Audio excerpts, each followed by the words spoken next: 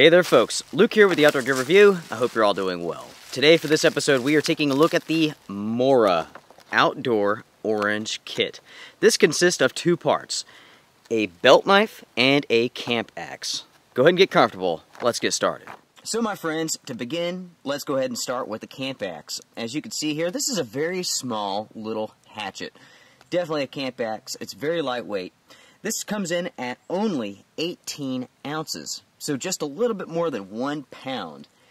The handle from tip to tip is 12 and a half inches long. And this thing is very sharp indeed. Now, going back to the weight. With a weight like this, this is perfect for even backpackers. Uh, most of the time, your typical axe Camp axes go weigh a couple of pounds, so just a little bit more than one pound, that's not bad at all. Certainly this will fit easily into any bushcrafter's backpack. Now what you are looking at here is boron steel with an epoxy coating over the top of it. This is a Scandi grind. On the back side of the axe, you do have the pommel. Now as you can see here, it does have a contoured handle, which is also reinforced. Very, very strong. It feels amazing in the hand. It doesn't feel like it's going to go anywhere. It doesn't feel like you need to reset your hand when you're using it. Very nice. Now, when you're looking at the blade length, this is three and a half inches, and the head itself is four and a half inches. The Camp Axe does come with a leather sheath. Very simple, but very effective. As you can see, it has that clasp, the snap on it. So now that we've taken a look at the axe, why don't we go over to the knife? Essentially, this is the Mora 2000. This is a very well-known knife, no doubt about it. As you can see here, this does have a plastic sheath, kind of an eggshell sort of texture to it. It does have a piece of leather here for your belt loop. It also has two drainage holes down at the bottom. Now, some people love Mora's sheaths. Some people absolutely hate them. I don't personally mind them. I don't mind the plastic nature. I am a fan of leather though, so in the future I may replace this, like I do with my other ones, with a leather sheath. Here's the blade itself. Now with the knife, you're looking at an overall length of 8.8 .8 inches with a blade length of 4.3 inches. This is made from razor sharp high carbon stainless steel 12C27 cold rolled.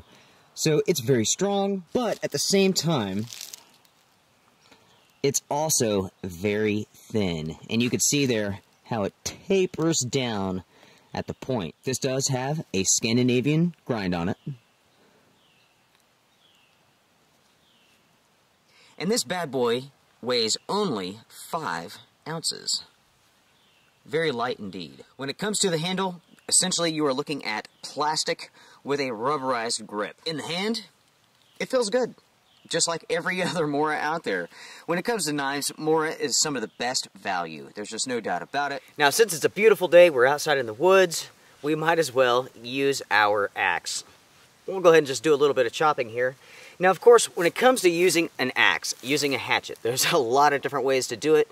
Some ways are very safe, some ways are very dangerous.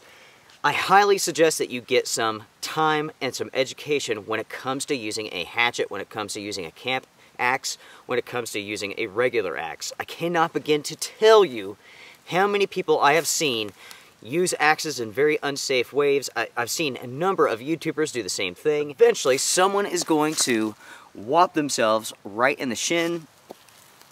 It happens all the time. I see it happen all the time. So, yep, before you go out and you start using an axe, using a hatchet, please get a little bit of education protect yourself. It's very easy just to get out there and start swinging and really, really hurt yourself. So there you go. So why don't we go ahead and get started.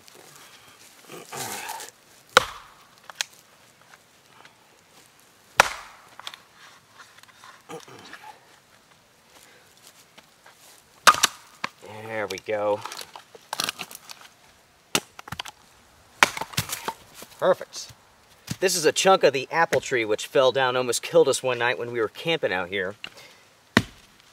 Now, I want you to watch me as I swing here. I'm on my knees, I'm up high, and I'm also diverting all of the energy forward and down. That way, when I swing, there's no way that this blade is going to deflect and hit my legs.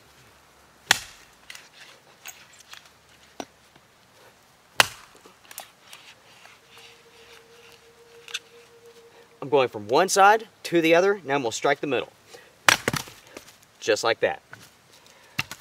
Now, when I bust through that wood, I'm controlling the swing. I'm controlling the angle of the axe. So again, I don't go through and hit myself. And that right there is perfect for burning. Take a look at the grain here.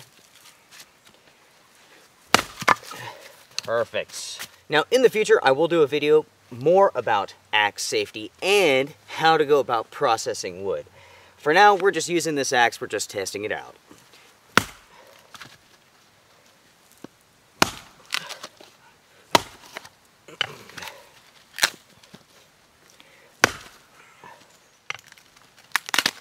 Alright. We'll finish up with this piece right here.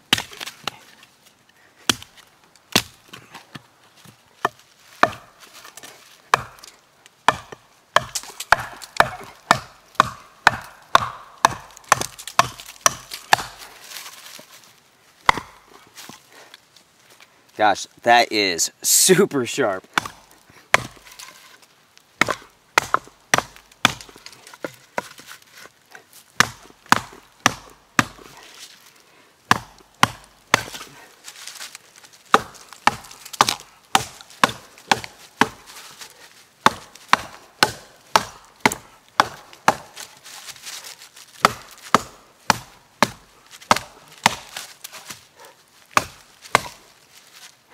Just like that. Super simple, super fast.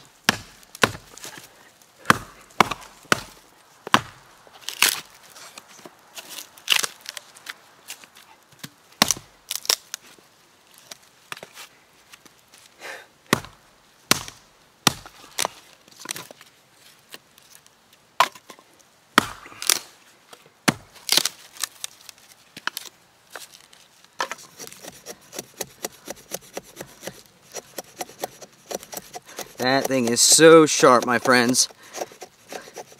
I mean, look at that. Can easily make a feather stick.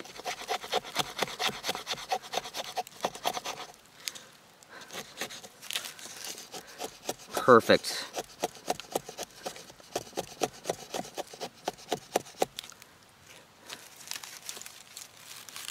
Alright, we've been playing with the axe for a while, so why don't we switch over to the knife? And let's go ahead and make a tent peg.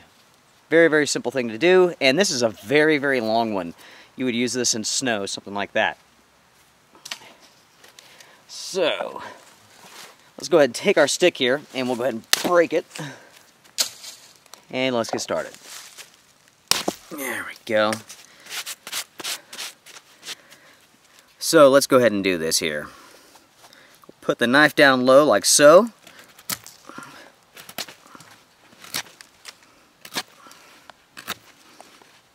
And we're just going to pull that stick back. And already that's that's pretty darn good. You can see that. Alright. Go to the other side.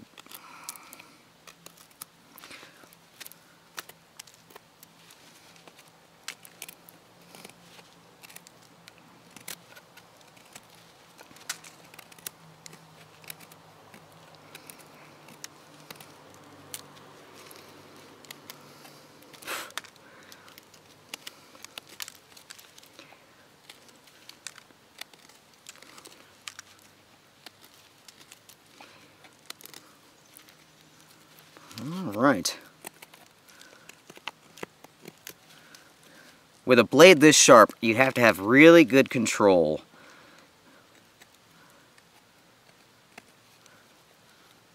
Yeah. Anyway, I mean, we could spend all day carving around on this. But as you can see here, very, very simple tent stake. Very sharp indeed. So, let's just go ahead and reform that edge, shall we?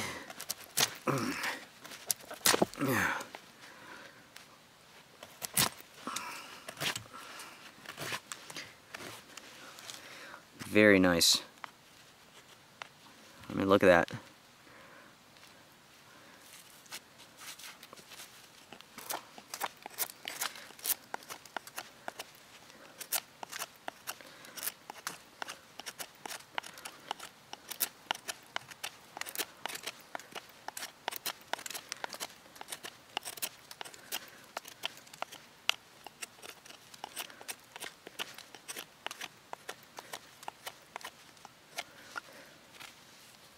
This knife here is so incredibly sharp here. And as you can see, that Scandinavian grind on it, I mean, it just goes through the wood like it's butter. It's very, very impressive. But of course, Moras are impressive in general. Definitely, they're some of the best knives out there, especially for the money.